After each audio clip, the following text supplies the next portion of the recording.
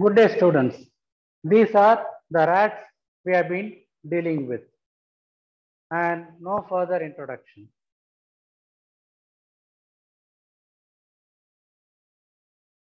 The topic for the day is megaloblastic anemia.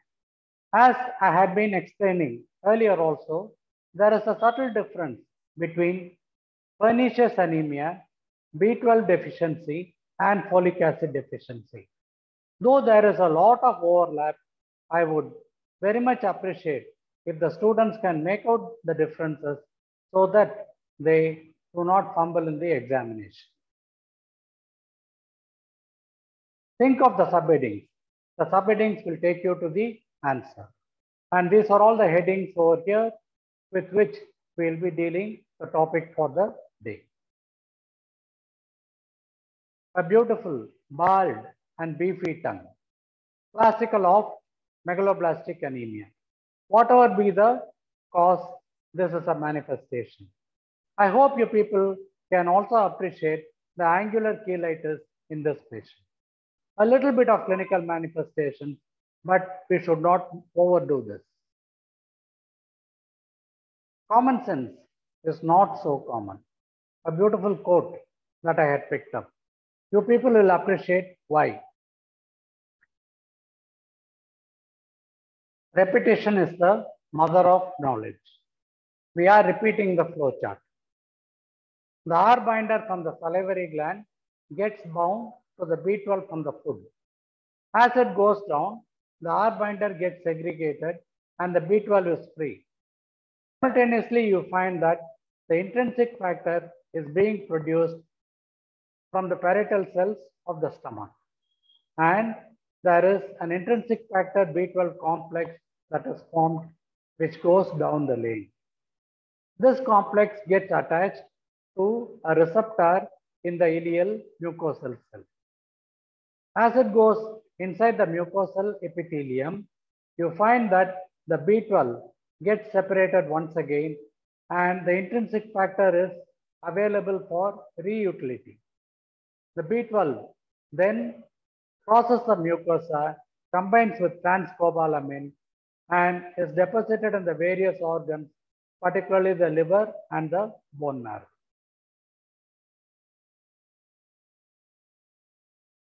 As a summary, you people can remember this.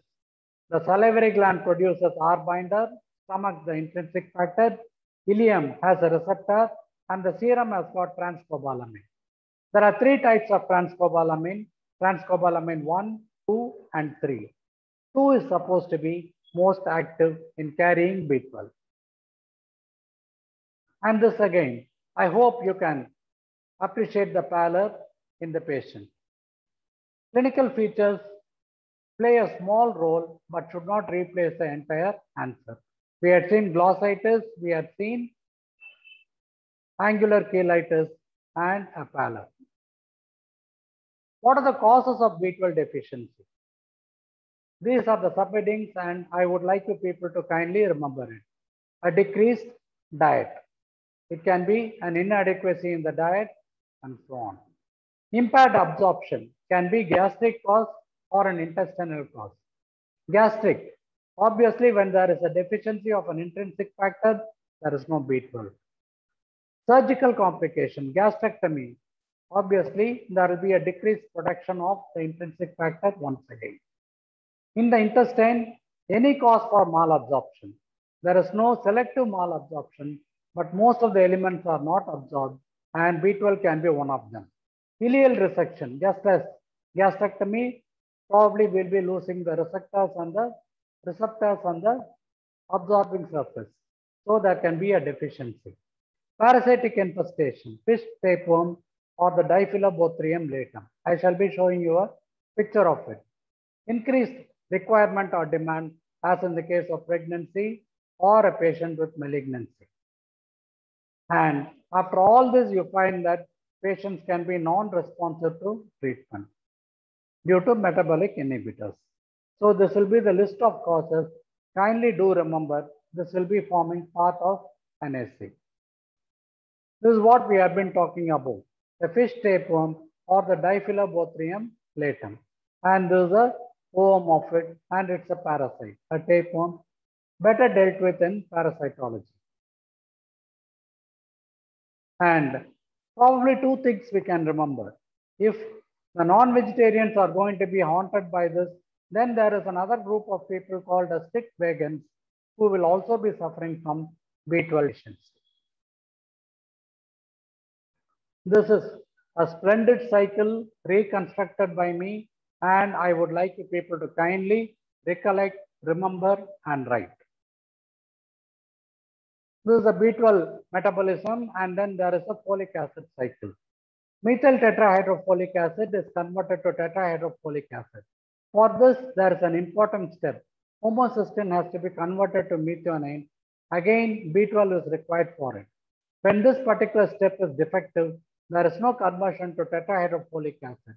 This is called a folate trap and the tetrahydrofolic acid is not able to get converted any further.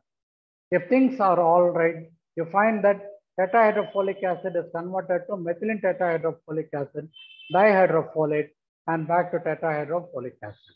So this is the folic acid cycle, and you people can appreciate the relationship between the B12 and the folic acid. And we should remember that there is ultimately the DNA that is getting formed. There is a deoxyuridylate, deoxythymidylate, and then deoxythymine and DNA. So these are getting formed. Ultimately, there is a formation of the DNA. So when there is going to be a defect in the B12 or the folic acid or both, there is a defective DNA synthesis. So this is a particular cycle that you people will have to remember. And this the megaloblastoid cell wherein there is a defect in the DNA maturation reflected in the nuclear changes. We shall be seeing them. Please memorize. First things first, and the megaloblast. I would like to appreciate this particular cell. This is a megaloblast. It is a large cell and it has got a large nucleus with opened out chromatin and it appears sieve-like. You find sieve means it is some kind of a filter that is over here and it is seen.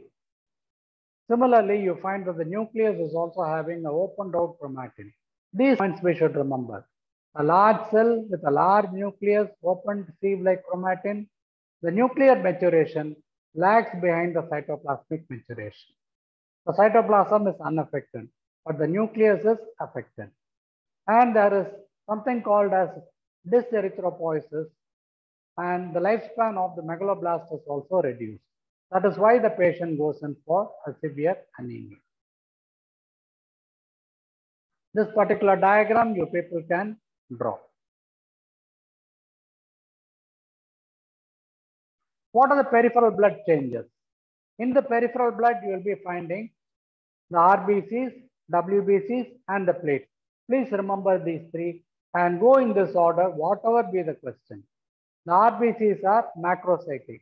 In fact, they are better described as macroovalocytic. Look at this particular cell, for example, it is oval in outline. The cells are oval in outline, not circular, and they are enlarged, hence the term macroovalocytic. Normochromic, there is no hypochromia. Sometimes teardrop cells can be seen. There can be inclusions such as Howell-Jolly bodies and Cabot rings. These will be the RBC changes. So megaloblastoid and sorry, macrocytic cells, and then poikilocytosis, Howell-Jolly bodies, Cabot ring. Leukopenia is present because the DNA is affected and hence all the lineage of cells can be affected. Neutrophils can sometimes be hypersegmented. Look at this particular picture.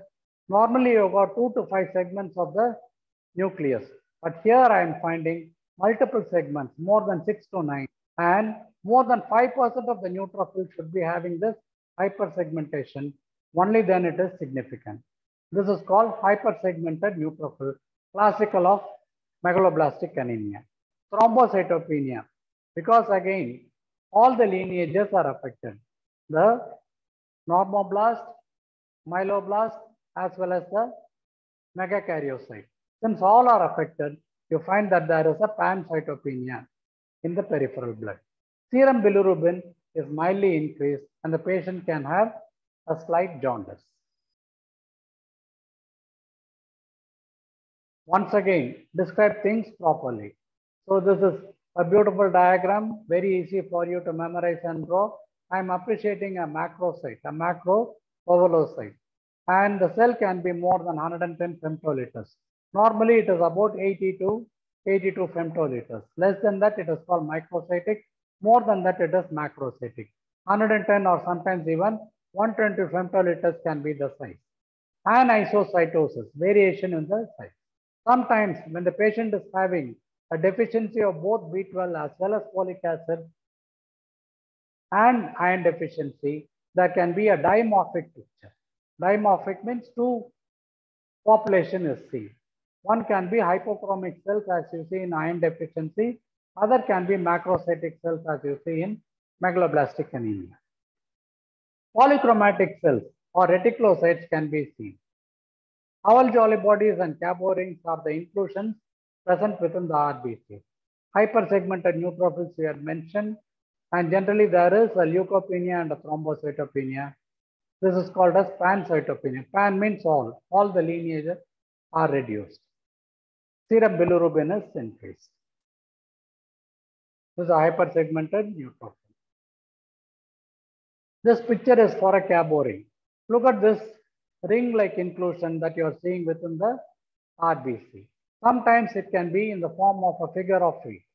So it can be found in a lot of conditions such as megaloblastic anemia, thalassemia, and after splenectomy. Cabot rings. This is a normal erythropoiesis that you people see in a case of a normal patient, but then you should know these things so that we are able to appreciate. And this happens in a case of megaloblastic anemia. Compare this cell with this. You find that this is an orthochromatic normoblast. There is a small nucleus, whereas here it's a megaloblast. The nuclear condensation lags behind the cytoplasmic maturation. So here is where the change is. I hope you people are able to appreciate the difference between the megaloblast and the normoblast. How to report on a bone marrow we had seen earlier, but this is the first slide where the bone marrow will be important. Kindly follow this subheading. Cellularity. Cellularity in a case of megaloblastic anemia, it can be normal or decreased. Erythropoiesis is mildly suppressed and it shows a megaloblastic type of maturation. And see these cells, these are all large cells having large nucleus with opened out chromatin. The nuclear maturation lags behind the cytoplasmic maturation. Giant stab forms. This is a metamyelocyte or a stab form. And look at the large nucleus. It is not a monocyte. And these are seen in megaloblastic anemia. Megakaryopoiesis also can be affected because of the dyshematopoiesis. Lymphocytes and plasma cells are usually unaffected, but they may be. Mitosis is reduced, but when the patient is on treatment, you will be finding atypical mitosis. Atypical mitosis, it can be a warning signal for the pathologist. ME ratio, myeloid erythroid ratio, you find that it is increased or reversed on treatment. Increased because the myeloid series is more, but reversed when the patient is responding to treatment. So what are all the various things that you people see? This erythropoiesis. This erythropoiesis. Look at this one, it is a megaloblast. And look at this one, it is not normal erythropoiesis, it is binucleate. Something is wrong with it. And even this neutrophilic series, it is not very normal. So there is a complete disharmony, the giant stab form that can be seen. Megakaryocytes are also affected, which is called dysmegakaryopoiesis. Mitosis will be abnormal, and I am also seeing some inclusions called as a Howell-Jolly bodies. The Schilling's test we had seen earlier, I'm repeating it for the sake of completion. So you find that there is the intrinsic factor that is there in the stomach and then the patient is given a radio label B12. If the patient has got adequate amount of intrinsic factor, the absorption is proper. Also, you find patient is given a large bolus of B12 and this will flush out the radio labeled B12 in a normal patient. But it will be excreted in a case of a patient suffering from B12 deficiency or pernicious anemia. The same thing is given over here. Lot of causes are there. So this is helping you to recollect. Please draw this particular diagram. And there is one condition. Whenever there is a blind loop, there can be a megaloblastic anemia, increased number of infections, pancreatitis, etc. Please draw this diagram. And the disadvantage of the test is it is tedious and uh, infections have to be treated. The renal status also has to be normal for to. So this is a classical picture in a case of megaloblastic anemia. You can use the same picture for pernicious anemia, B12 deficiency, or folic acid deficiency. So these are all the subheadings we have already dealt with. It. So what we are seeing over here, these are all the megaloblasts, large cells, large nucleus, opened, sieve-like chromatin. Nuclear maturation lags behind the cytoplasmic maturation. There are a few nucleoli also. And this is all a group. Usually we identify a person by the company he keeps. Since all these cells are together, they are all megaloblasts.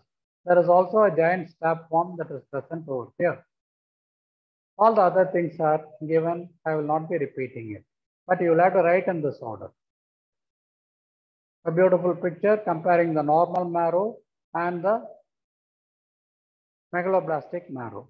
So there is a megaloblast over here. These are all normoblasts.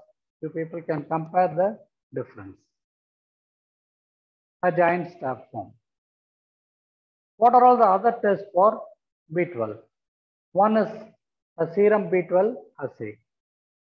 For this use, there are three types. One is called as a microbiological assay and the organism we use is called as Euglena gracilis. It is used for the promotion of B12. If the patient is having adequate amount of B12, then there will be growth of the organism and it will be measured turbimetrically. There will be growth and it will cause turbidity that can be measured. Another way of measuring the B12 is radioimmunoassay and radioisotope assay. So please mention all these things. Microbiological assay, radioimmunoassay, radioisotope assay. Schilling's test we have already seen. Sometimes we have to measure the antibodies for intrinsic factor. And finally, as I had mentioned earlier, methyl malonic acid and homocysteine can be assessed. All these are parameters which you will have to mention. In short, when you are asked about the laboratory diagnosis, you must mention the peripheral blood picture, the bone marrow picture, the Schilling's test, and the other laboratory tests. Only then your answer is complete. The question that you omit is your university question. That is my experience. IQ is equal to UQ, university question. Don't fall into a trap. And there's a folate trap which we had been talking about. When this is going to be defective, homocysteine to methionine, then there is no further promotion of the folic acid metabolism and DNA synthesis. We are coming to the last few slides. Causes for folic acid deficiency. I have picked up a mnemonic or rather constructed a mnemonic for you people. I for inadequate diet, impaired absorption, increased loss, which can occur in hemodialysis, increased requirement in pregnancy, infancy, disseminated cancer, lactation, etc. Impaired utilization, whenever there are some antagonists, as in the case of anti-epileptic drugs.